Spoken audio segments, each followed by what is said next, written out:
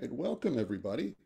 I'm Jonathan Haupt, director of our nonprofit Pat Conroy Literary Center here in Beaufort. This is our October 2022 open mic night presented every month in partnership with the South Carolina Writers Association, our statewide Writers Association. Uh, we've got a really large group of poets and writers and storytellers here with us tonight in our Zoom room, live streaming on Facebook, available later on YouTube. Thank you for joining us and watching this, however and whenever you are doing that. We're really excited to welcome our featured writer tonight, the Poet Laureate of Rock Hill, South Carolina, Angelo Geter. Angelo will be closing out our evening tonight, uh, but our very first reader, a familiar face, wonderful voice, here in our Conroy Center open mic night, Denise Spencer. So Denise, if you would, please kick us off. Thank you, Jonathan. Um, one brief moment of um, explanation about this poem. I am a relatively new poet, um, uh, started mainly during the pandemic or just before, and um, I'm learning.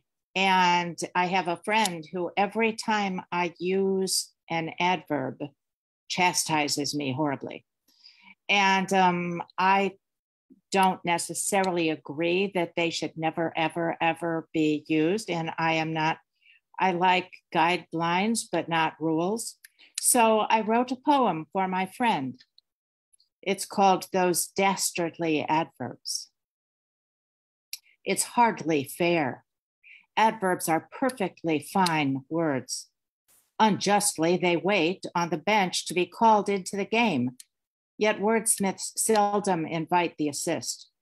To precisely describe all the sensations of life, one must diligently select specific words.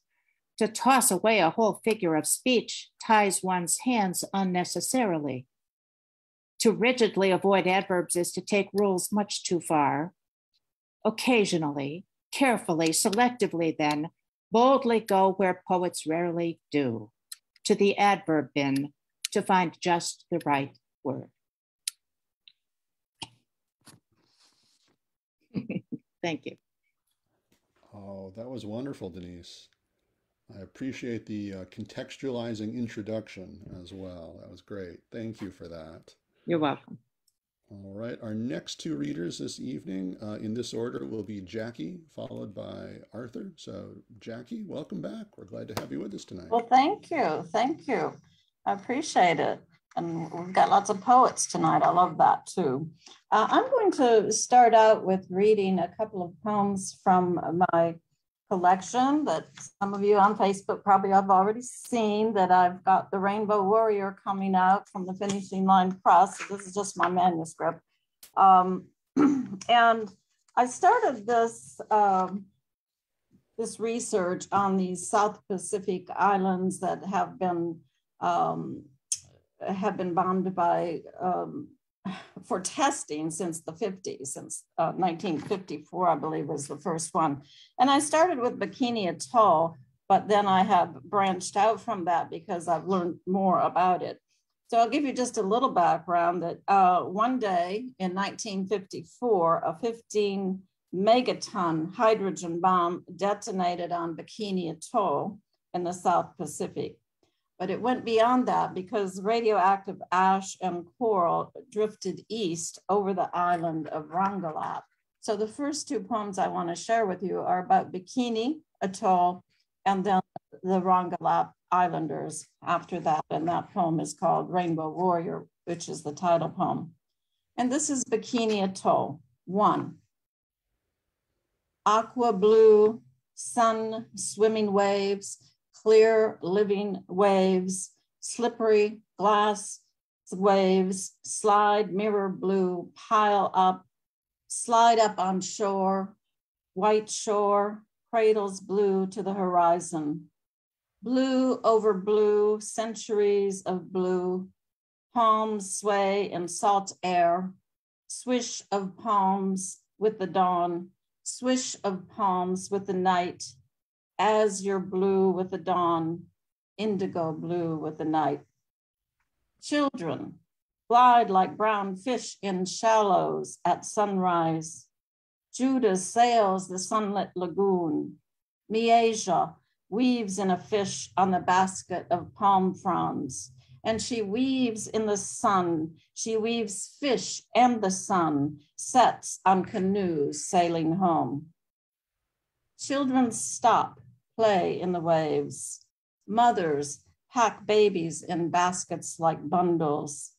Fathers carry sons, and sons carry fathers. Grandfathers bring fish, swimming silver in memory. Grandmothers remember canoes and red sunsets, remember canoes sailing home.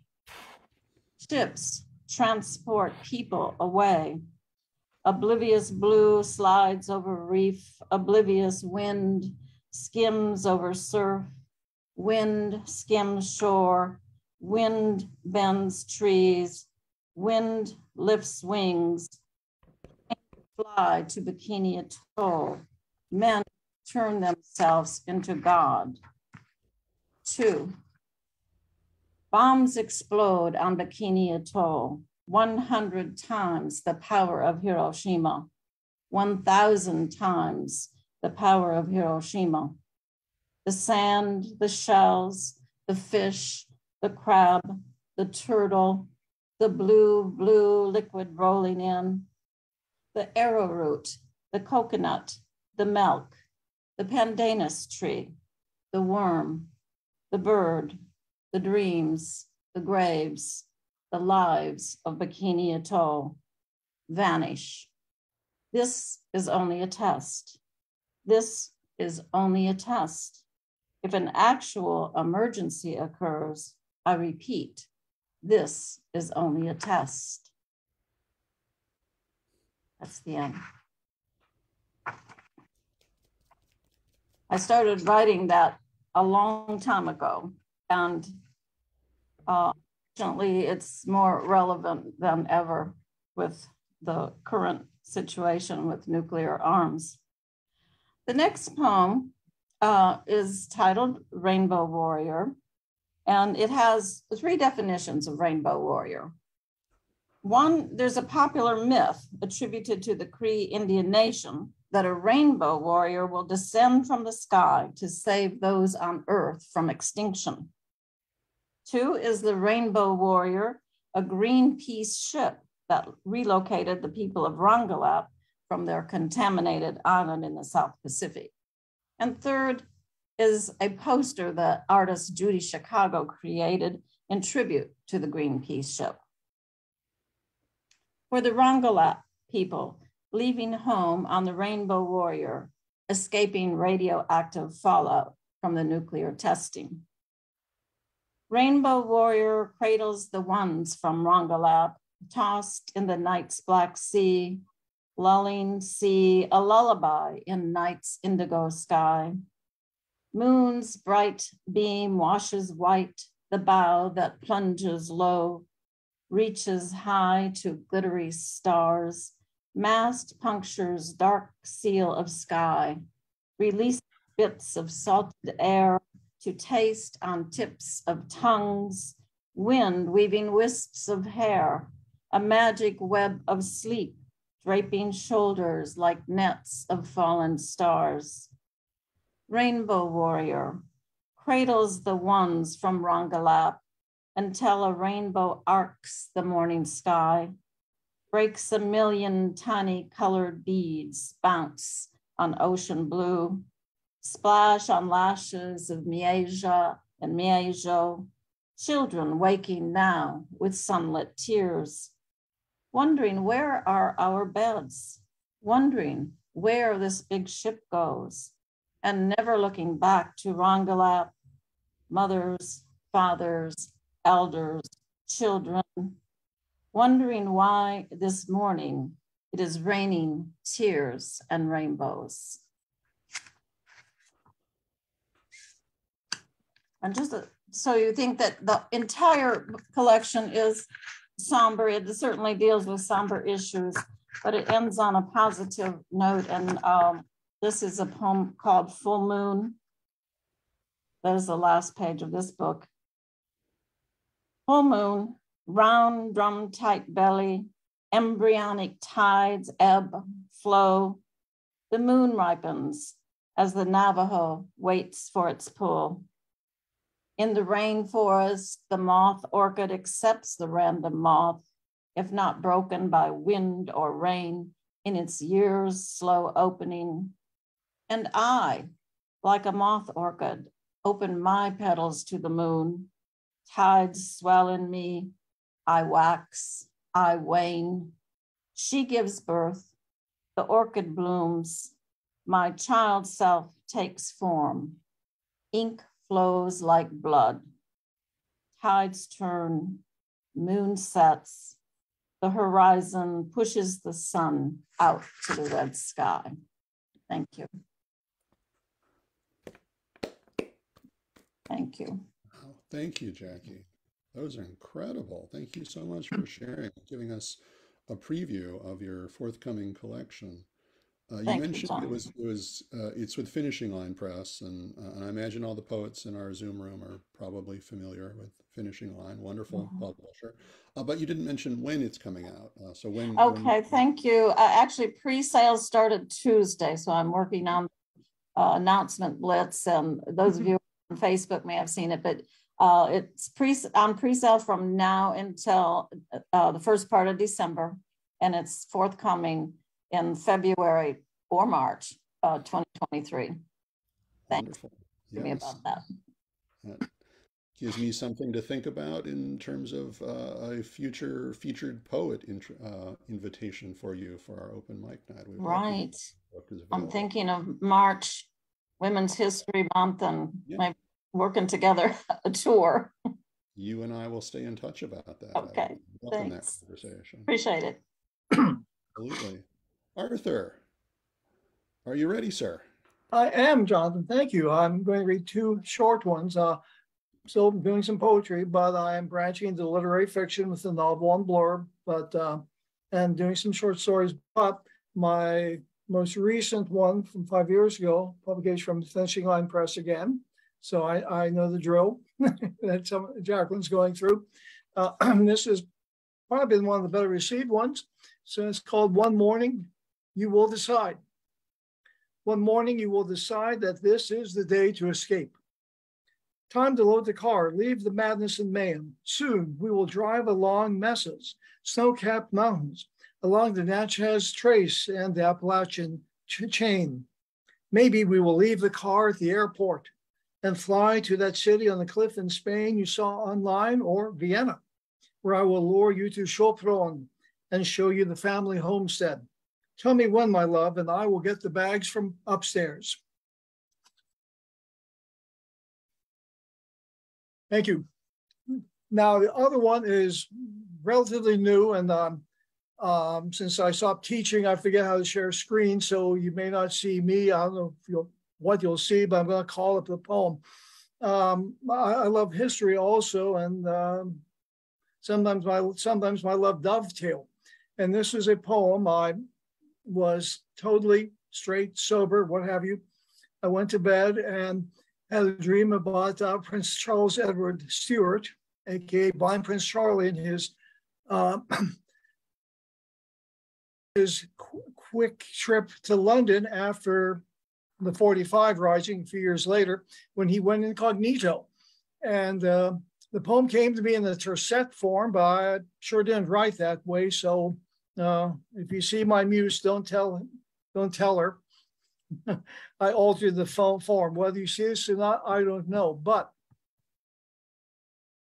to the poem, which is entitled "The Young Pretender in London." How was it at last to see the places long heard of, not even remembered by your exiled father? Seeing palaces that should or might be your residences, mingling with the crowds under an alias, recognized by a dwindling remnant as you urge them once again to rise up? You change faiths as effortlessly as one changes clothes for dinner. I wonder if, as you survey the tower, concocting another desperate try for the crown, you remembered Culloden's dead, exiles you refused to receive, months spent hiding, unheeded, the highlands flower fading. The end. Thank you. Thank you. Thank you, Arthur. Yes. Uh, thank you for sharing both of those. Uh, Appreciate it, Jonathan and everyone. Absolutely. I have a question for you before we transition to our Ah, next uh, three yes. writers. And just to forewarn them again of who those three writers are, uh, we'll be going to uh, to Sherry, then to Ashley, and then uh, to Abigail. Uh, but Arthur, uh, could you tell everybody just a little bit about the South Carolina Writers Association's poetry group, since we I would be glad to. Uh, we're in the process of uh, Reformation. I'm speaking as a Lutheran, Reformation's on my mind this month. And, uh, but anyway, uh, um, at next week's conference, next uh, weekend after next um, conference, I'm going to call all poets together. We want to see if we want to meet um, virtually still, or if we want to uh, meet face to face. Uh, um, I'm willing to mentor, to listen, to um, let people cry on my shoulder or rant or rave, what have you. Um, just trying to uh, revitalize ourselves and to see um, there's a lot of poetic talent here. We've been uh, talking with um, uh, uh, Tamara Miles at the uh, Poetry Society of South Carolina about perhaps doing some things in conjunction with them. And I'm really excited. So if you are a poet here tonight and are interested, uh, please um, um, see me on um, direct message me on Facebook um, or dig up my um, Gmail, my email. Uh, I'm on Instagram. Contact me some way or the other. Or if you meet someone who uh, would like to be involved, please. Uh, we're, we're not actively recruiting for members, although at some point one needs to join to participate fully, but uh, we're just interested in anyone, um, no matter what style they write uh, in or um, so um, please contact me. Uh, the simple email is uh, I, I keep it simple, a turfa at AOL.com. Thank you, Arthur. Thank you. Thank for- you, Jonathan. for doing that and for sharing it with us tonight. I appreciate uh, on both fronts. Sherry, are you ready to join us? Uh, you, you have to unmute. Um, if you'll do that for us, we'll be ready to go. Thank you. This is my first time here. I'm a new author. I just had my first short story accepted. Um, I'm a lifetime storyteller, very involved with the Detroit Moth, and then COVID hit. So I started writing. So let me begin. Thank you. One fine day, sentenced to five minutes against the kin- kindergarten timeout brick wall our crime breaking silence. Florence and I continued our crime spree with foreheads pressed on the brick. Our friendship was cemented on that wall. I'm beyond excited. Florence is coming over later. I've been up north at my dad's family farm working the entire summer, alone and bored. I can't wait to hear her voice. We write letters, but they're flat words on a page. The new Mr. Zip gave me five digits for faster delivery. My last letter said in capitals, the end is in sight. The entire time I've been craving a Detroit favorite, White Castles, dinner in a cardboard sleeve.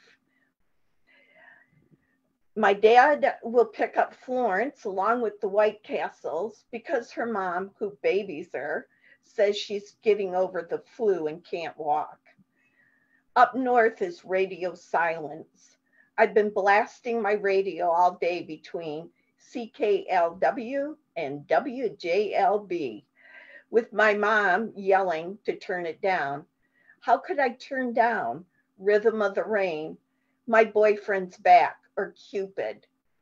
Mom's making a light dinner for card night with my aunt and uncle. I help by wa- wrapping the water chestnuts with bacon. I'm so thankful for the White Castles.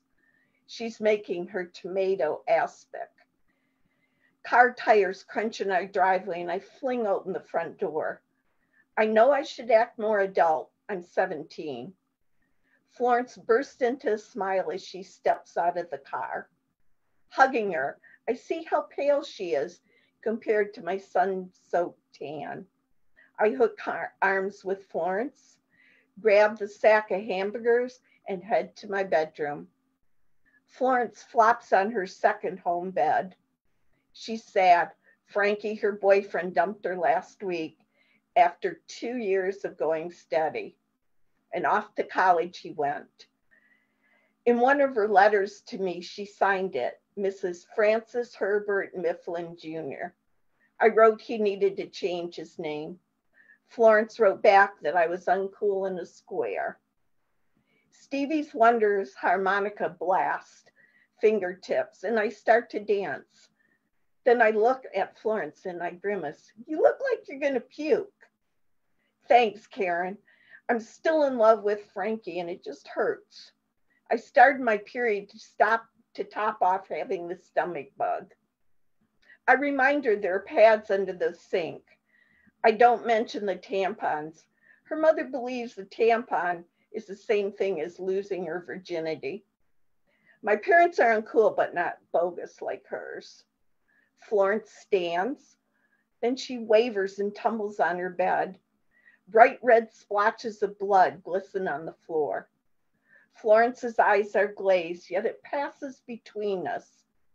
I lay her flat and lift up her legs like we learned in a Red Cross safety class. I scream for my friend's life. Bring the car around to the front door, my uncle says, who's a doctor. Flush everything on the bed down the toilet. I do. My mom says Mount Carmel is the closest hospital, and I scream, no Catholic hospitals. My uncle grabs the phone, hurriedly speaks.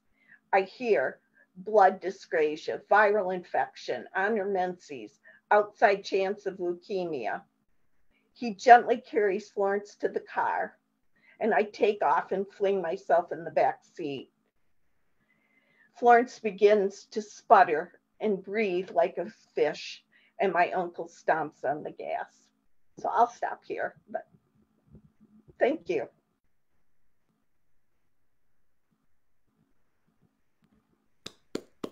Oh, thank you so much for sharing that, and congratulations on on your first story publication as well. Thank you. Thank you so much. Can and you, thanks for the memories. I know. That I was know. fabulous. That was really fabulous. Beautifully, um, beautifully written. Thank you so much. I appreciate everything. Thank you.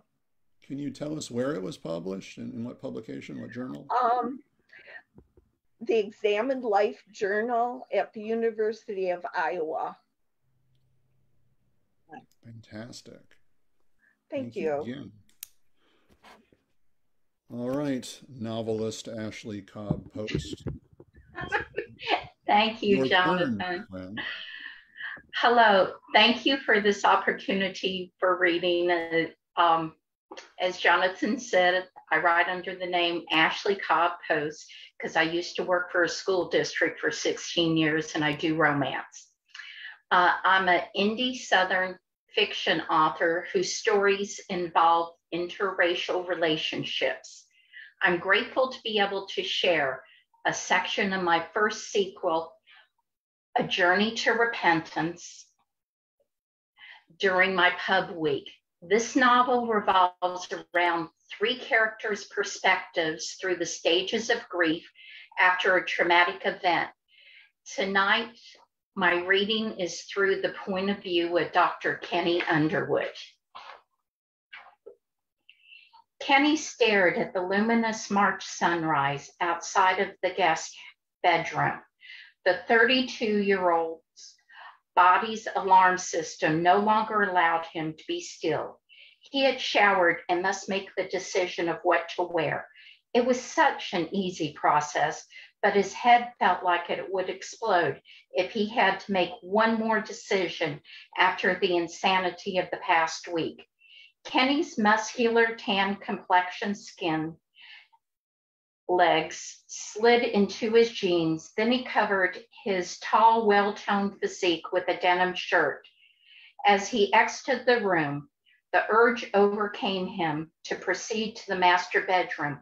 He paused before opening the door. Slowly, he entered the room as he remembered their last memorable time together. Last night, he could have slept there, but she would not have been by his side. The loss of her presence would have been unbearable. Suddenly, he realized he wasn't alone, hearing her sobbing. She held his hand and guided him to the hallway as he looked down at her angelic face. Kenny was compelled to comfort Jasmine. Her almost eight year old small frame shook gently in his arms as he bent to her level. No words were spoken. Moments later, she pulled him she pulled back and motioned for him to follow her. They descended down the grand staircase to the kitchen. Kenny prepared a light breakfast for them as they ate in silence. Only a week ago, Francesca had shared a similar meal with them. They were a Norman Rockwell picture of happiness. Then Kenny was a husband, along with being father to this amazing little girl. How could Francesca have left them?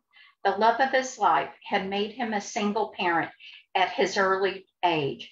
He wanted to scream, but had to be strong for Jasmine's sake. Words of wisdom couldn't be formed as Kenny wanted to shield her from this pain. And um, that's part of chapter two of the book.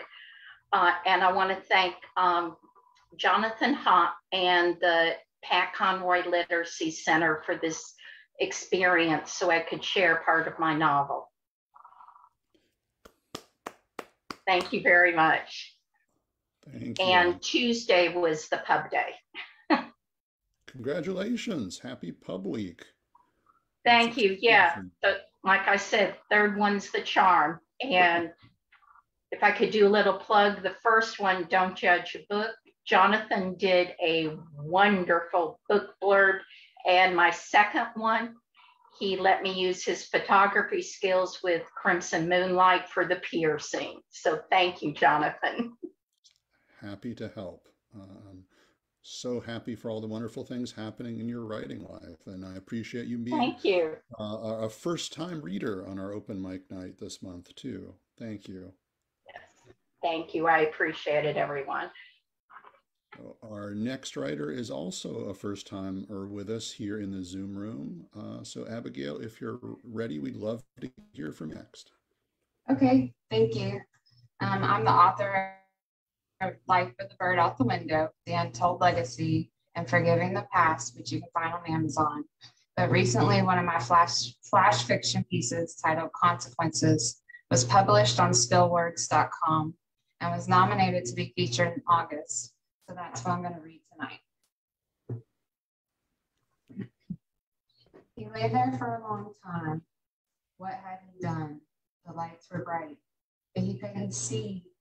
His ears were ringing.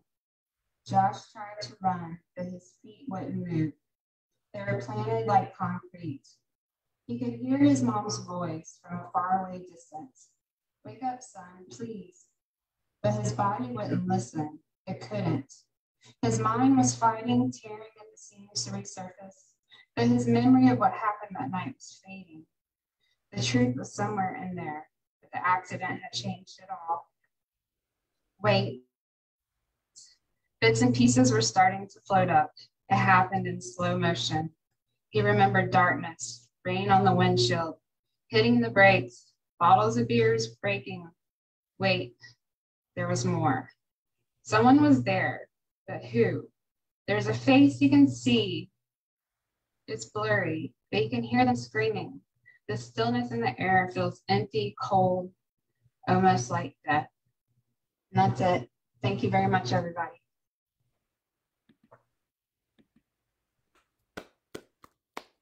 Thank you, Abigail. Thank you for sharing that. Great example of flash fiction. Thank you so much. Thank you for joining us for the first time as well. I hope you'll come back. All right, our, let's see where we are in the lineup here. We have uh, three readers left tonight. Tracy, Catherine, if Catherine is back. Catherine, are you back? There you are. Yes, thank you. Sorry, I couldn't spot you in our group. And then we'll close out this evening with Angelo. Uh, Tracy, thank you for joining us for the first time as well. We, we really look forward to hearing from you. So uh, welcome. Thank you for having me. Can you hear me okay? Yes, fantastic. Okay, so um, my poems are short and um, I'm actually a spoken word artist. I'm pretty a vulnerable person, so I'll give you a little background about me. Um, I tell people that the pandemic was a blessing in disguise for me because two years ago I was a pre-K teacher's assistant, and um, basically I took a leap of faith to go after my poetry, my writing, and it hasn't stopped um, since 2020. So I actually got accepted recently on Poets and Writers. So I'm on Poets and Writers and now for spoken word. So this, thank you. This um, poem is called Hiding Behind the Corner. I used to be the girl hiding behind the corner. I felt like a loner. Yet even when I cried, I thought I had died to a world I had to face, but still the people lied. I must admit I couldn't take it. I truly believed I wouldn't make it. Then one day, something inside this vessel said, Don't fake it, but break it. So I broke the walls that were tearing me apart and ripping out my heart until the fall was about to hit, came into a line for starts. I just kept running since I couldn't stop. I ran like a criminal trying to get away from the cops. I got rid of the haters, the perpetrators, the two faces, and the instigators. I changed my way of thinking and didn't mind blinking. If times were too hard, I wouldn't stack it up with those deck of cards. I became stronger, could stand longer. Not trying to measure up to a world going under. I gained respect and advanced my intellect to a place I didn't expect. Now I can walk up to a person untimid and shy. I'm a newfound eagle and I'm ready to fly. I have to speak before my spirit leaks with anticipation, determination, imagination, and an accepted application. No, I'm not always accepted by those around me, but my soul has light that a blind person can see. I have a voice that needs to be spread in order to have true peace in my head. My spirit creates a difference in the essence of the confident presence presence I showed when I decided not to be led. Thank you.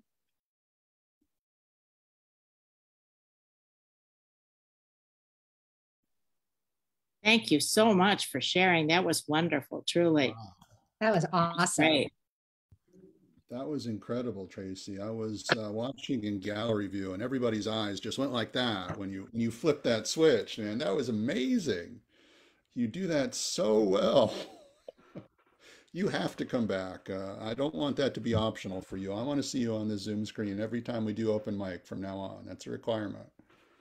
That was amazing. And you'll encourage others to come with spoken word poetry to yes. open mic, and that's really important. We need those voices. So thank you so much.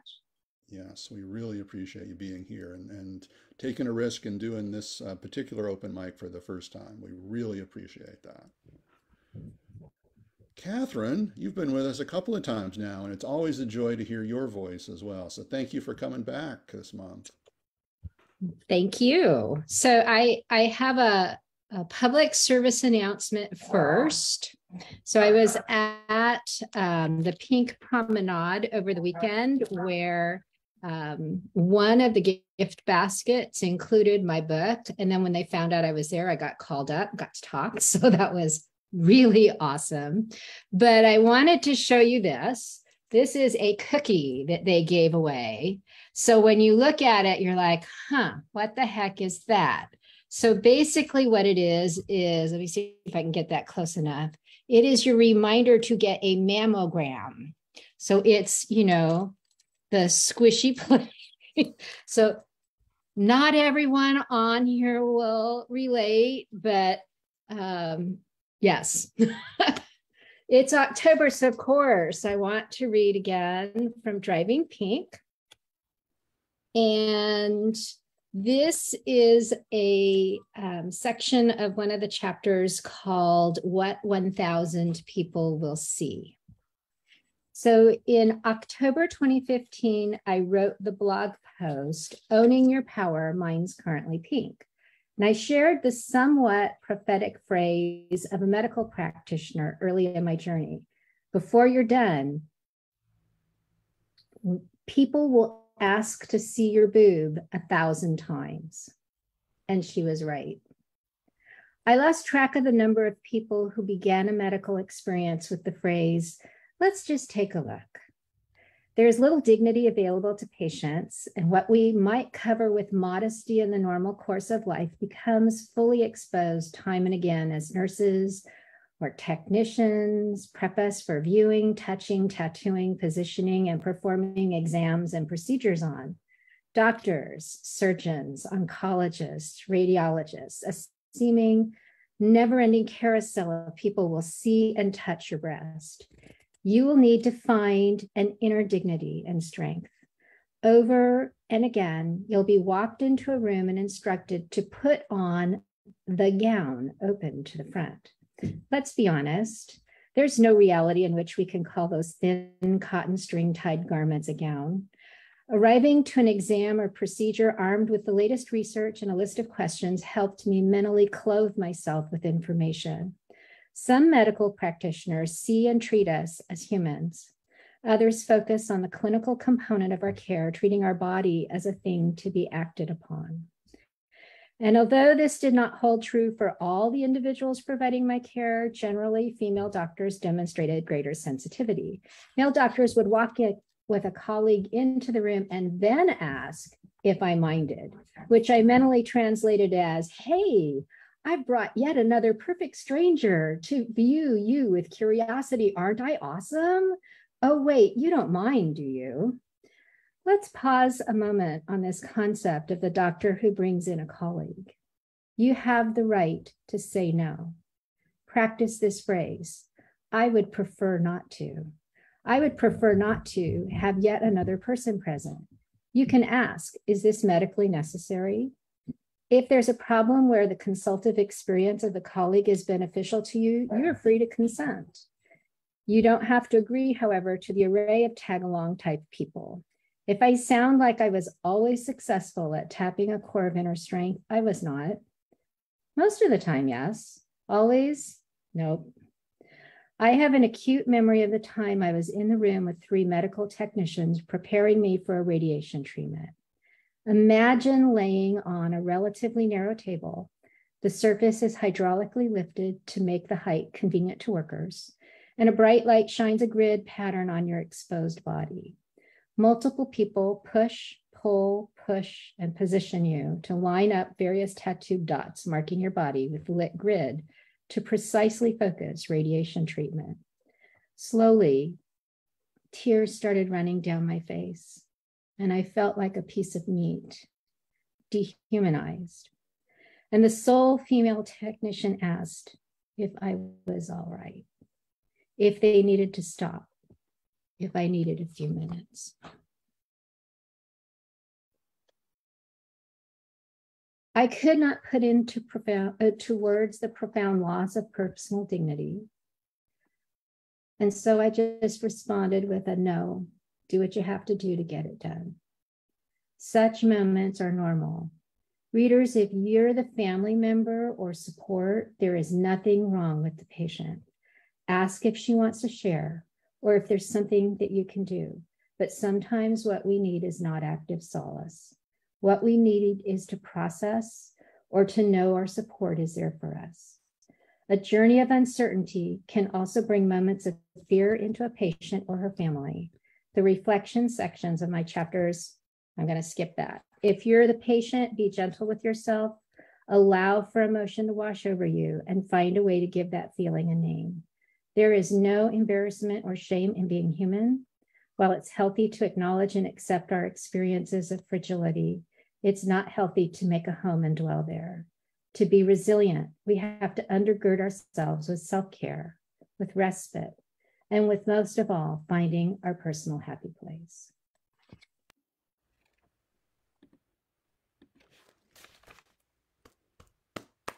Oh, thank you, Catherine.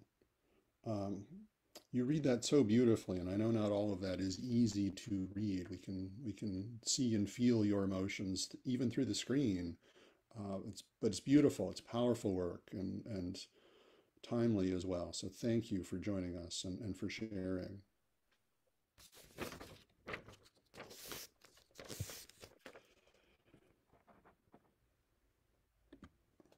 Our featured poet this month, and it is now that time, gang, um, is an absolute honor to welcome to our Zoom room Angelo Geter. Uh, for those of you who haven't had a chance to hear Angelo read uh, either in person or, or to see recordings of this, you're about to be blown away, as I was the first time I encountered Angelo's videos.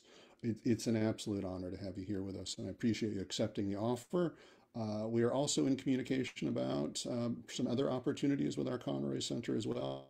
So uh, not the last time. I hope this is the first of many times that we are co collaborating with Angelo Geter. He is an award-winning poet, educator, author, and performance artist, and currently serves as the Poet Laureate of Rock Hill, South Carolina. He's also a 2020 Academy of American Poets Laureate Fellow. Uh, were that not enough, and I assure you it is not, Angelo is also a 2018 National Poetry Slam champion, a Rust Belt Regional Poetry Slam finalist, a Southern Fried Regional Poetry Slam finalist, and, and, and the founding director of the One Word Poetry Festival. His work has appeared on All Def Poetry, Charleston Currents, Gratefulness.com, and the Academy of American Poets Poem a Day series. And his debut, debut poetry collection, More God Than Dead, was released in June of this year. Everybody, let's welcome Angelo as our featured writer for our October open mic night. Thank you for joining us, Angelo. Thank you so much. Good evening, everyone. Can y'all hear me pretty well? We're good. Awesome. Awesome. Thank you, uh, John, for for one for the invitation to be here. This is quite an honor, um, honestly. Uh, even though it's virtual, I feel like I'm physically in the space. So that's really it's really good for the invitation to be here. Um, and thanks for the way you read that, bio. I don't. It's always funny, like when people reading stuff about you, because like I don't remember doing all that, but I guess I did. And you know, and, and I don't really care about accolades, but it's it's cool to to have folks um, you know appreciate that. So thank you for for that so much. Uh, and thanks for looking into my work um, as well prior to today. So um, that really really means a lot. And thanks to everyone that's read so far. This has been amazing. I've really been enjoying. For a while, I just had my, my camera off because I like you know when I make scrunchy faces when it's a nice line or something. I want everybody to see that. Uh, but uh, but it's been it's been really beautiful um, hearing hearing your work tonight. So thank you for for being in the space and sharing uh, yourself. I do have uh, some poems, right? What we're here for. I do have some poems to share uh, with you tonight. Um, two of them uh, kind of, uh, I believe her name was Tracy. Yeah. So as Tracy um, mentioned, uh, I'm also a spoken word artist as well. That's my, that's my, I guess my my initial kind of entry into um, poetry. Well, not initial, but that's been kind of how it, what has been the majority of my work over time but I've been writing uh, as well, and so I just released a, a, a debut co- collection, and uh, so I'll be reading most things from them. I'm going to do about two spoken word pieces as well, just to kind of show uh, the different things that I do um, as well with that. So with that being said, no further ado, I'll get right into the poem. So I stop talking, like, why you just saying these crazy things to me, sir? Um, but uh, I'll get right into it. This first piece is called Family Tree. Um, and it just talks about um, basically growing through relationships. And I'll just go ahead and say that this set is pretty much going to be about the idea of losing things and rebuilding things and growing. Uh, so a lot of these poems will will touch on that. good morning, good afternoon, good evening. I was born September 21st, 1986 in Columbia, South Carolina, to a mother named Mary and a father named Joseph. And no, my name ain't Jesus, y'all. It's Angelo. I graduated with a bachelor's degree in 2008. I currently work at that same college where every day I mentor kids who look just like me. My mother calls me her little miracle. The concrete generation, my poetry friends know me as I iambic.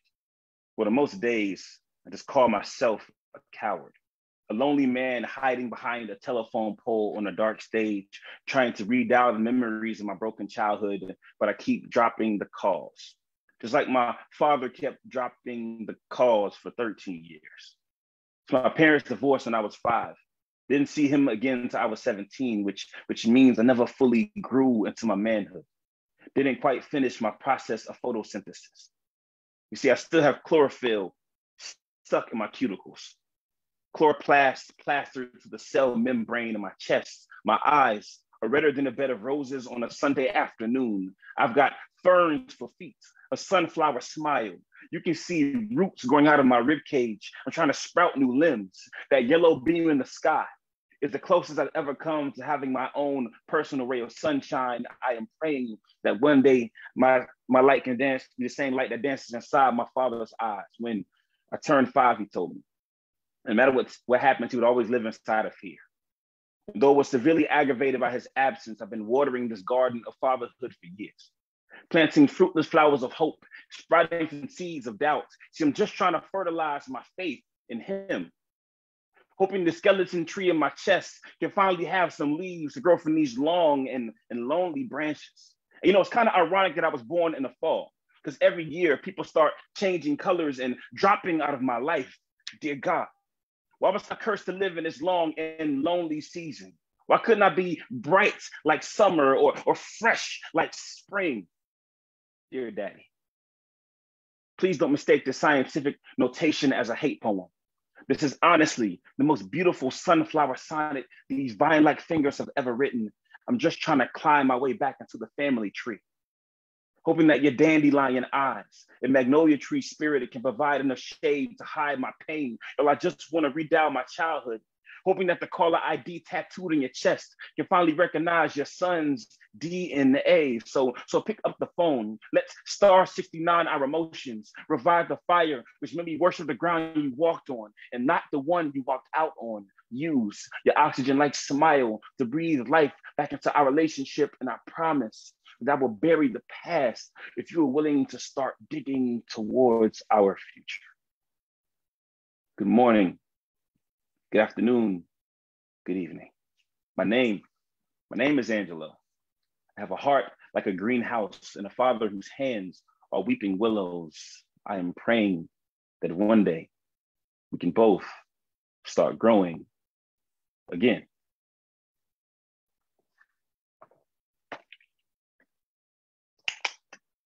Thank y'all so much. Thank y'all so much. I, I, appreciate that. You know, the fun thing about um, glad y'all enjoyed that. Fun thing about Zoom is that you can like you can snap, but you can also do like really weird and funky things in the screen as well. You know, you don't have to just, just do the normal clapping thing. So if you feel inspired to do such dances or backflips or whatever, whatever you want to do, even those watching uh, on the Facebook stream, however you choose, uh, you know, to show your appreciation for something, I appreciate that. In a, in a normal poetry uh, cafe, we would say, you know, you definitely want to snap and then you want to make noises like mmm and ooh and ah, aha.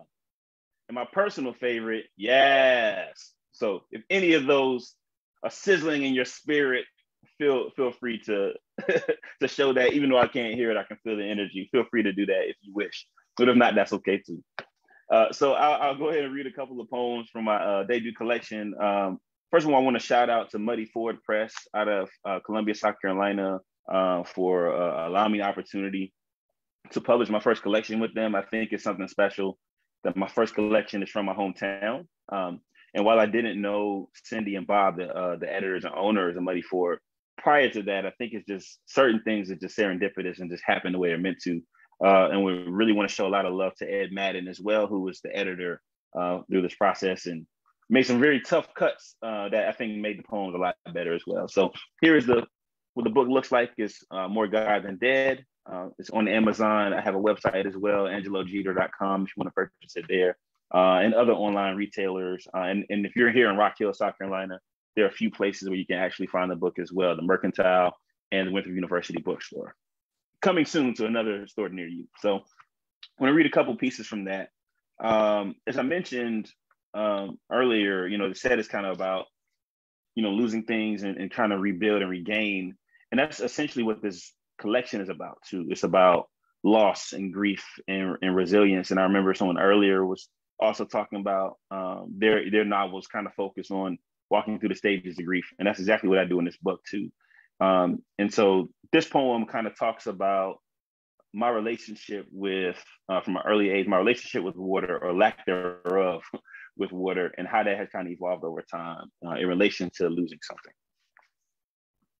It's called Blue. Blue. I never learned how to swim. I almost drowned at a pool party in the sixth grade. I was the only dark body there. When I saw the ivory colored kids somersault off diving board into the cold sanctuary below, I wanted to feel what they felt to be free enough and safe enough to jump into something that could kill me. So I jumped and quickly sank until my arms were flailing ferociously, trying to grab onto something I couldn't see, like God or love. For a moment, I felt weightless, a black boy bird flying with no restraint until the water reminded me I was human. I have a hard time remembering when I fell in love with water. Truly don't recall the moment waves enchanted my innocent eyes and unearthed new worlds in these pupils. Perhaps it was in elementary school when I was scribbling outside the lines, when I had not yet become acquainted with the burden of barriers, was not familiar that dark lines were a thing you were not supposed to cross. At that age, we glided crayon across paper with no intention of halt, danced over barricades until we made them beautiful. We would dig our hands in warm sand and soft beach, submerging feet underneath the blue until we can no longer see where we stood. I loved the feeling of enveloping myself into something larger than myself. In college, a brown skinned girl with a sharp tongue and a soft smile taught me how to float in the water, to glide and extend limbs in a straight line until my body turned still. She was also instructing me in a crash course on love, the art of stretching out and leaping until joints tire of exhaustion, to jump off of faith into a pool of uncertainty. I vowed to always study the aquatics of her. So when I visit the cemetery that now houses her bones, I stare at the lake that surrounds her, use these sea legs to swim to her gravesite, and extend my arms like a black bird trying to spread its wings.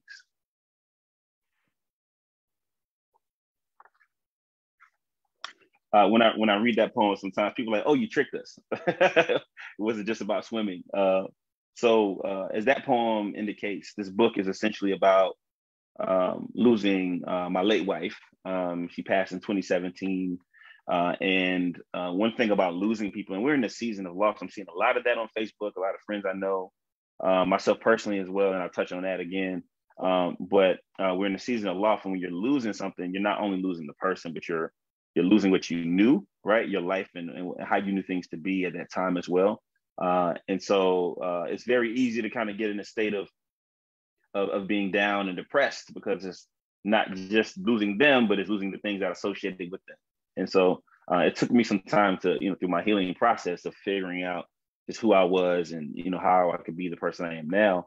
Um, and and it was hard to find things to be joyous about, you know, in, in those in those moments. Um, but I had to learn that if there's a reason that I'm awake and alive the next day, that I made it to the next day, there's something worth being joyful about, right? It's something worthy of being praised and worthy of praising. And so this poem is a is an ode to that, if you will. It's not an ode, but it's an ode to that in a sense. Uh, and it's called praise as well. Praise. Today I will praise. I will praise the sun for showering its light on this darkened vessel. I will praise its shine. Praise the way it wraps my skin in ultraviolet ultimatums demanding to be seen. I will lift my hands in adoration of how something so bright could be so heavy. I will praise the ground that did not make feast of these bones. Praise the casket that did not become a shelter for flesh. Praise the bullets that called in sick to work. Praise the trigger that went on vacation. Praise the chalk that did not outline a body today. Praise the body for still being a body and not a headstone. Praise the body for being a body and not a police report. Praise the body for being a body and not a memory that no one wants to forget. Praise the memories. Praise the laughs and smiles you thought had been evicted from your jawline. Praise the eyes for seeing and still believing for being blinded from faith, but never losing their vision, and praise the visions. Praise the prophets who don't profit off of those visions. Praise the heart for housing this living room of emotions. Praise the trophy that is my name. Praise the gifts that is my name. Praise the name that is my name, which no one can plagiarize or gentrify. Praise the praise. How the throat sounds like a choir the harmony in your tongue lifts into a song of adoration. Praise yourself for being able to praise, for waking up when you had every reason not to.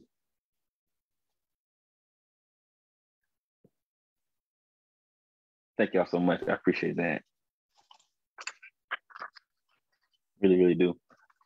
I'm trying to try to raise the energy up. I know it's been a little low. We're gonna, we're gonna raise it up at the end of this, right? So I'm gonna start a little, start a little bit heavy, and then we're gonna get a little bit lighter, right? Because you know, as we're going through, and, and that's what I did in this book is um, at least I hope I did it. I, what I think I did, and which I hope that people agree that I did, is you know, it's heavy, there's heaviness in it, and it's heaviness when we're talking about grief and loss and and working through it. Uh, but it's also joy in remembering the life of the person and remembering things about yourself, you know. And um, we get so sometimes bogged down with the loss itself or the idea of just losing something. And loss isn't just people; it's things. Some people lost jobs, some people lost cars and homes, some people lost themselves, their identities, right? Uh, and so uh, it's easy to get kind of caught up in the loss of something, but the fact that you're uh, grieving the loss means there was something that was beautiful about the life, right? And so um, this poem is one of those things that I try to do in the book is celebrate the life and celebrate the beautiful times uh, as well. So this is called Black Girl Fly. Black Girl Fly. My girl is fly, and not fly as in helicopter or airplane or kite cascading across a sunset. I mean fly as in dope, fresh, trendy, sexy. So fly, the wind asks for her permission to speak. So fly, NASA consults her before sending shuttles beyond this galaxy. Fly like blackbirds somersaulting on a blue playground of sky. Fly like stiletto heels tall enough to reach heaven's backyard. Fly like walking into a room and stealing the spark in everyone's faces, turning any venue into a runway. Fly like she came to slay everything, and all you can do is watch yourself become prey. So fly, every follicle of hair is laid like a prayer, bowing to the temple of her edges. So fly, she convinces me to buy her sundresses every summer, like spending my money is her favorite pastime. She'll flash a smile and say, Ange, in a tone that weakens the grip of my wallet and serenades the crease of my lips into a smile I can't resist. So fly, I never complain. I gladly carry anything her flesh leaves an imprint on. My girl is so fly. She makes me believe gravity doesn't have jurisdiction over this blanket of flesh, and flight is our native tongue. So fly, she makes a hospital gown look like fashion week. So fly, the nurses at CMC Pineville know her by name, greet her with a smile that says, I hate you're back here, but I'm also happy to see you. So fly, she's had more surgeries than birthday parties. So fly, the doctors gave her six months to live and she refused to stick to their timeline. So fly, she talks to God on a first name basis and writes a gospel with her tongue. Thank y'all so much. I appreciate that. So I'm telling brother self promotion. So while it's on my mind, uh, if you enjoy what you're hearing, please visit uh, my website, angelogeter.com. You can see some videos of, of poems uh, that I've done in the past. Uh, and you can also uh, purchase the book there also and kind of just see things I have going on, my schedule, uh, and the different things I'll offer. But also, if you're a fan of Amazon and Barnes & Noble and all those other places, feel free to uh, purchase the book there also. And you can follow me on here, Angelo T. Geter, or on Instagram at eyeambic, which is E-Y-E-A-M-B-I-C. E Y E A M B I C. Uh, and that was my like, and it still is. That was my stage name when I started uh, doing spoken word and slam, and so it's kind of just stuck. So uh, if you like what you hear, feel free to follow what I'm doing.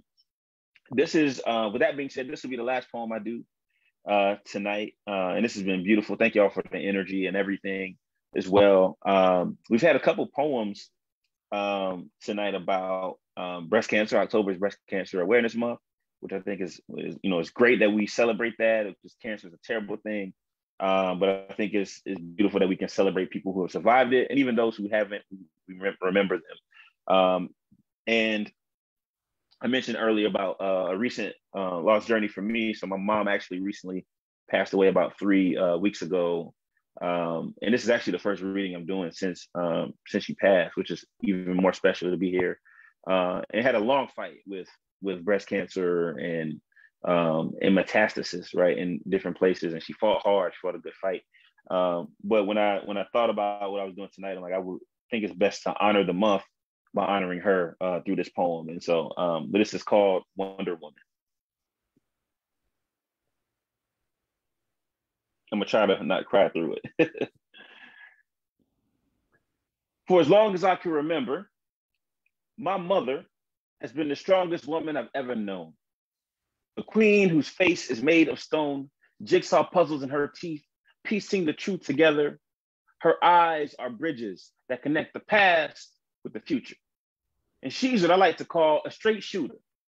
Will tell you exactly what she feels, doesn't care what you think or how you feel about it, wears her heart on her collarbone like a diamond necklace, holds pyramids in her palm so you can feel the royalty in her embrace when she hands you a fistful of compassion. And my mama has a monument for a heart, hieroglyphics in her tongue decipher the elegance in her speech. She is a small, a strong, and proud woman. A woman who'll put on high heels just to walk to the grocery store. Will put on full makeup and get her face beat to the gods just so she can go to the gas station because she believes that queens should never leave the house looking like peasants. And she's a superstitious woman, believes that aspirin and vinegar can heal anything. And I'm talking arthritis, gout, scoliosis, coronavirus, the flu, you name it. She thinks these things can heal it. And that's why I love her so much. She makes ordinary things seem remarkable. Like how she can take a 50 cent box of noodles, add some egg, milk, and cheddar, make the most delicious pan of macaroni and cheese you ever tasted in your life. So good, it made Jesus smack his own mama. Rumor has it that she once put Bigfoot in the headlock, smacked Godzilla in the face and told him that his breath stank, killed Moby Dick, rolled him in flour, threw it in a pan, and called it a fish fry. Yo, my mama is a gangster. I'm convinced she's thrown a couple bodies in the river. Because when I was younger, she performed drive-bys on me with a switch, a hanger, extension cord, belt, herself, anything. I ever got out of line, when she was done, she let me cry. Remind me that she ain't raised no punk. Show me that being a man had nothing to do with the size of your genitalia, but everything to do with the enormity of your character. My mama and the strength of Harriet Tubman, the grace of Cleopatra, and the style of Michelle Obama. She is a war machine with missiles shooting from her tongue that stopped men dead in their tracks and brought them down to her knees. Living proof that the most dangerous weapon in America is the voice of a Black woman. And it proves that Black lives do matter because she has birthed them and raised them and fought for them more than she has fought for herself. Because Mom is also a survivor. This a past year, she fought the biggest battles yet with a giant in cancer and a tightening heart disease. And although one of those things took her breast, it can never be strong enough to steal her heart.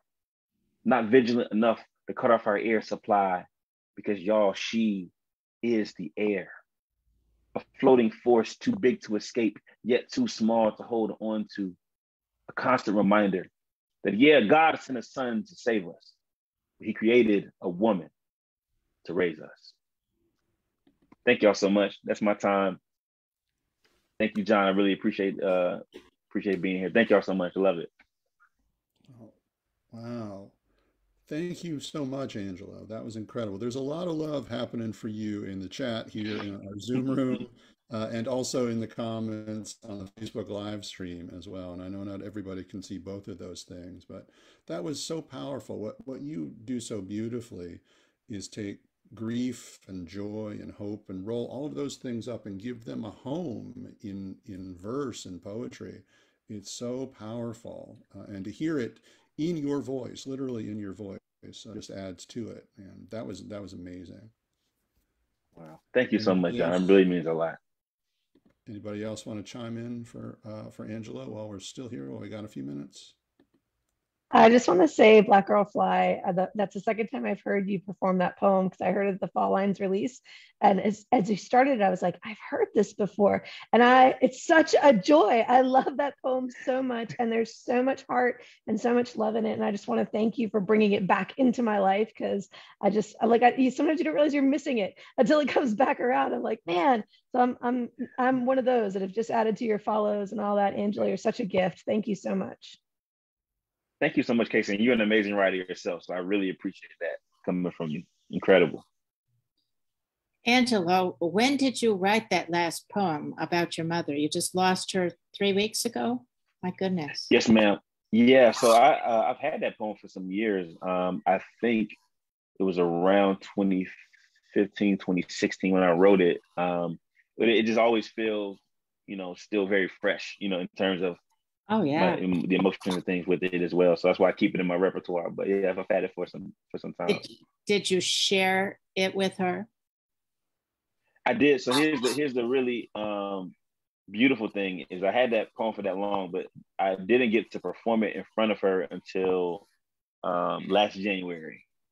I had a um, a feature and she was uh, she ended up she was staying with me, and um, so we did the feature and uh, and she was right in the front row, and it was the first time she had actually seen me perform it live. She had seen a video of it, um, but she got to see me do it live. So that was really special that I had the the chance to do that. Uh, then and then in April again for the uh, One Word Poetry Festival, I did the poem again, and she was there as well. And it was the day before her birthday, which was also great. Wonderful, wonderful. Well, it's lovely, and I I um, it resonates with me. I've been trying to write some things for my mother, who is mm. in a nursing home at this point, and um, and uh, suffers with a little dementia. And so all of the things that trigger her memory um, are really helpful. And um, and um, I think it uh, mothers still want to see everything their kids do and are just as proud as they were you know the day you were born and so i'm certain that meant a lot to her to hear those that was great thank you